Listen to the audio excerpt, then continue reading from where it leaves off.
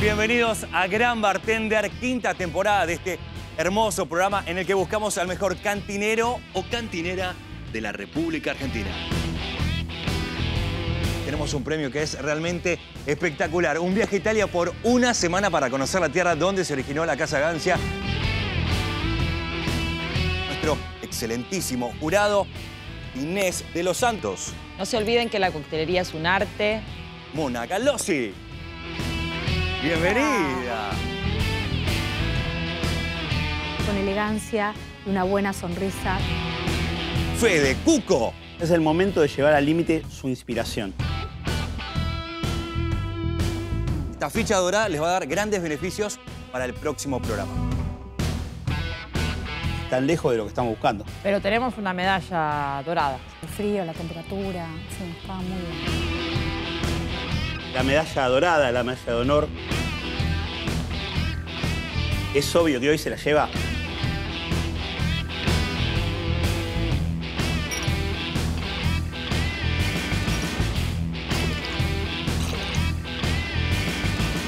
Ahora sí, arrancamos. Quinta temporada de Gran Bartender.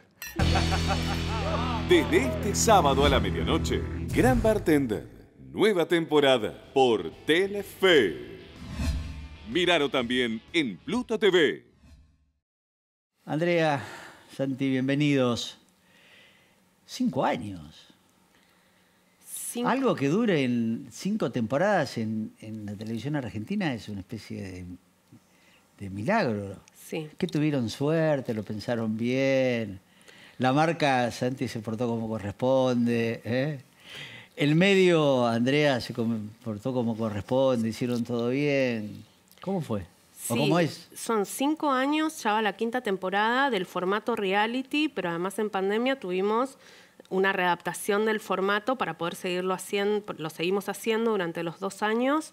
Eh, así que ya es, es el séptimo año que estamos, que estamos produciendo con Telefe eh, este reality y no, no, no es magia para nada.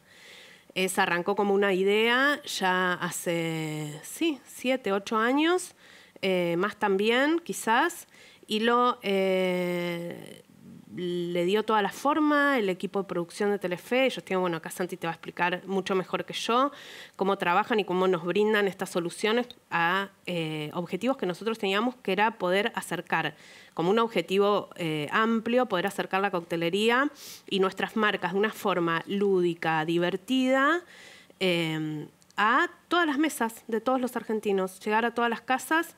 Eh, así que fue un desafío gigante que lo mantuvimos durante ya ocho años y ahora en esta, en esta ya, el año pasado retomamos el formato reality que estuvo espectacular, nos trajo, la verdad, unas sorpresas. Nosotros estamos muy contentos con los resultados. Tuvimos una nominación para los Martín Fierro, se inauguró esta categoría de Brand Content.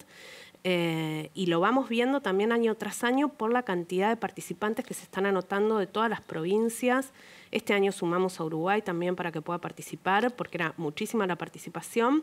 Así que es todo, además de poder hablarle a nuestros consumidores, le podemos hablar de una manera divertida y lúdica eh, y darles visibilidad también a toda la comunidad de bartenders. Para nosotros esto es muy importante. Argentina tiene un lugar en el mundo la coctelería argentina súper destacada, con personajes como Inés de los Santos, como Fede Q, como Ana Galossi, que son los jurados. Eh, y le queríamos dar esta visibilidad eh, masiva, esta llegada masiva a través de la pantalla de Telefe, eh, para también poder ponerla en valor. Eh, para nosotros es muy importante.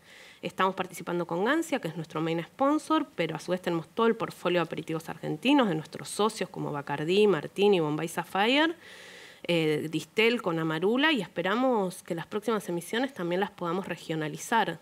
Vamos para ahí, creo que es lo que todos queremos.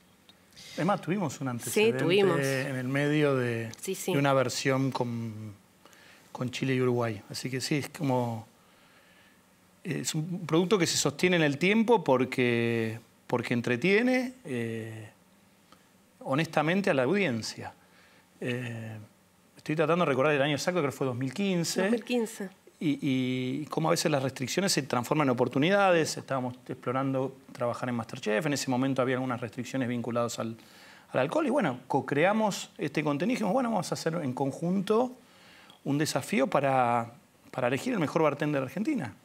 Y, y bueno, conectó con la gente, con nuestro, con nuestro público, en, un horario pertinente, va los, los sábados a la medianoche, que también tiene que ver por ahí con, la, con la concesión de consumo, o encontrar a la gente en, en ese momento para, para estar este, receptivos a, a las propuestas que, que les da el programa, y, hemos ido construyendo año tras año, eh, como digo yo, co-creando, y, al final del día es, creo que es muy- muy buen ejemplo de, no importa de dónde nacen las ideas, ¿no? Puede venir de una, de una agencia, de un director, de una marca. Al final, al final del día lo que importa es si conecta con la audiencia. Y este es un ejemplo que conectó con la audiencia, que lo entretiene, que se divierte, que obviamente este, también trabaja otras aristas de- de- de- que entiendo son relevantes pa- para, para Gancia, que tiene que ver con el consumo responsable, con, otro- con otras dimensiones del negocio. Y nosotros estamos muy cómodos y muy confortables trabajando con ellos. Permitidme que no coincida en algo. Dale. Sí importa de dónde vienen las ideas. Y en un mundo donde se estaba acostumbrado las marcas a recurrir a las agencias de publicidad, a que sean las usinas de creatividad y de ideas, eh, hoy eh, los medios se han convertido en un competidor porque eh, creo que comprenden mejor que las agencias de publicidad las necesidades de la gente porque conocen mejor el 360 del, del negocio y entiendo en esto que es un nuevo producto en los últimos años, el ejemplo con Gancia debe ser un ejemplo que ustedes los deben mostrar a las otras categorías eh, con cierto orgullo, ¿no es cierto? 100%. Por ahí la, la respuesta fue desde mi ombligo. Cuando dije, no importa, es. Fuiste correcto, medio- fuiste correcto, eh, fuiste el No, pero responsable. desde, no, tu- desde- lo hablaba desde, desde, desde- nuestra propuesta, de que estamos más acostumbrados a recibir una propuesta de una productora. O de una o, productora. o de una productora, o de, mismo de nuestra fábrica, nuestro- de nuestros equipos creativos. Y, y- y ya en- en- internamente nosotros, de- la, la- la respuesta vinculada, no importa dónde viene, tiene que ver que pueden hacer de una marca, pueden hacer de un talento, pueden hacer un celebrity. Y, y, en definitiva, lo importante es el valor de esa idea, no de dónde vino. Y, y- y la programación de Telefe la tomó como una idea propia, como si hubiese sido nuestra, nuestra factory. Se produce dentro de los estudios, tiene su lanzamiento de prensa en otros estudios, tiene su lugar en la grilla. O sea, lo, lo tratamos como un producto que eh, históricamente nacían desde nuestra fábrica y hoy los co-creamos con, con marca. Y sí, es un muy buen ejemplo y, y- y ha sido inspirador para otros formatos con, con otras marcas. Eh, Fue pionero, Y- claramente fue pionero. Y creo que lo que también es in- interesante es que ustedes, en los medios, eh, conocen pequeños secretos, pequeños detalles que a veces hacen la gran diferencia. Entonces entiendo que eh, eh, ustedes, los anunciantes o las marcas, eh, deben estar tranquilas en que, en que tienen todos los frentes eh, cubiertos, ¿no? Es como cuando entras a un lugar y que te resuelven todo. Totalmente. El equipo que tiene Telefe, que tiene Paramount, con el que trabajamos, es mega profesional en todos los aspectos. La parte técnica, la ambientación, el estudio es increíble. Cada año lo van superando. Eh, nos sorprendemos también, vemos cómo se ve, la calidad. eh, que, que tengan tanto en cuenta a, a su audiencia, que le quieran llevar formatos de calidad. Para nosotros eso es fundamental y además nos da un alivio impresionante. Eh, además, trabajamos mucho en conjunto. Nos escuchan, ven cuáles son nuestras necesidades, si hay que cambiar algo, bueno, lo vemos. Trabajamos muchísimo en conjunto. Ya se generó un equipo de mucha confianza y que ya entendemos cuál es el timing, eh, para dónde queremos ir, dónde queremos crecer, etcétera. Pero es un equipo súper profesional, sí. De- Desde mi punto de vista de, consumidor, eh, no muy avesado, pero bueno, me gusta. Entiendo también que es un aporte para la, para la industria, ¿no? Totalmente. Para nosotros Para la de- categoría. Sí, para la categoría te marca claramente un benchmark, fue pionero en el tipo de contenido, pero además para la categoría existen los concursos de bartenders. Nosotros hacíamos uno con el Bacardi Legacy, que se hacía a nivel global, lo hacíamos aquí en Argentina, y también un poco la idea nace de cómo llevamos este concurso, que es tan relevante para la comunidad de, de coctelería, de bartenders, etcétera, cómo podemos eh, llevarlo al consumidor. Porque no estaba pensado, ese tipo de concursos que ya existen no están pensados para el consumidor, están pensados, son eh, para la comunidad de bartenders.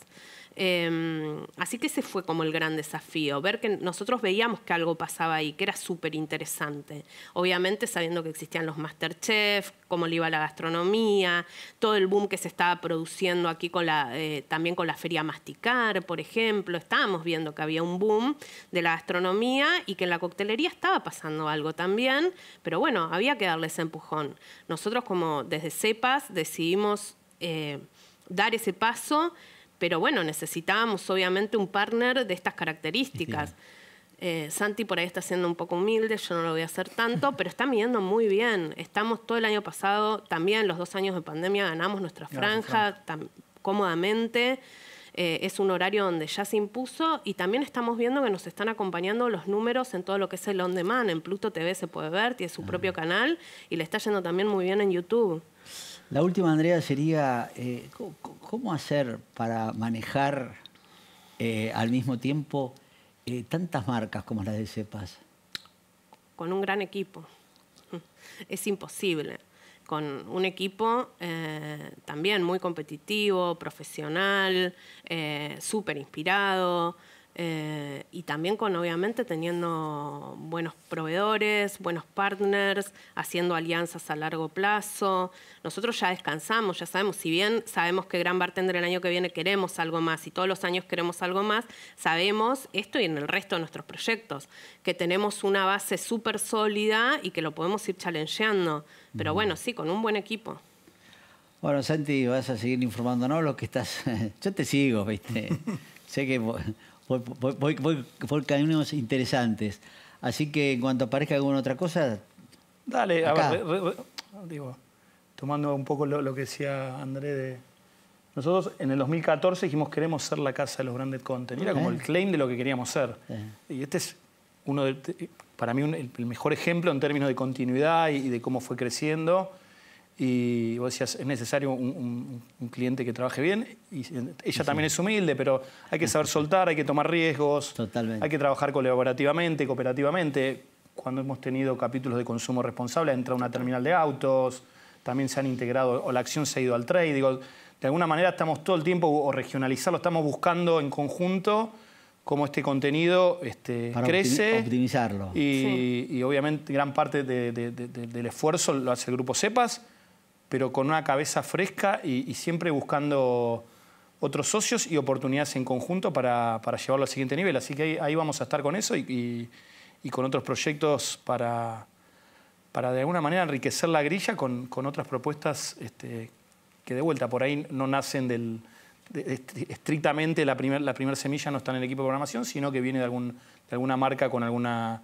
inquietud o iniciativa para llegar a sus consumidores o sus clientes. Andrea, felicitaciones, muchas gracias. Gracias. Un abrazo grande a Juan, eh, que siempre estamos en contacto. Está de viaje. Eh, y bueno, en Telefe está cerca, San Fernando, Martínez. Estamos cerca. Estamos cerca, así que estamos bien. Y también un abrazo para Darío, que acaba de ser...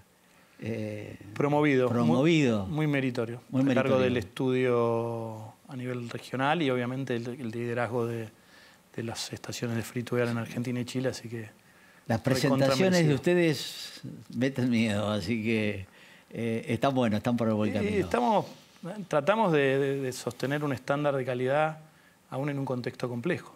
ayer Gotalen fue un ejemplo. Siempre la vara la ponemos un poco más, arriba para, para, seguir produciendo contenido de calidad. Argentina tiene el talento y, las capacidades para hacerlo y Darío en esto nos, nos presiona mucho para, en el buen sentido para, para nunca bajar la vara de calidad. Nos vemos en la próxima. Dale, gracias. Ya volvemos.